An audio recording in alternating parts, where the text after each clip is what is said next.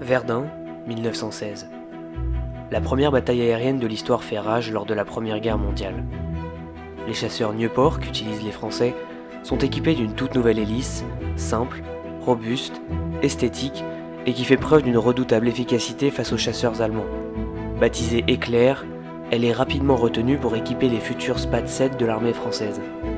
Son concepteur, Marcel Bloch, a tout juste 24 ans, mais vient sans le savoir de débuter une formidable carrière dans l'industrie aéronautique mondiale. De l'hélice éclair au Rafale et au Falcon D6 aujourd'hui, en passant par les mythiques Mirage et Super Étendard, découvrez l'histoire d'un constructeur aéronautique hors norme, Dassault Aviation.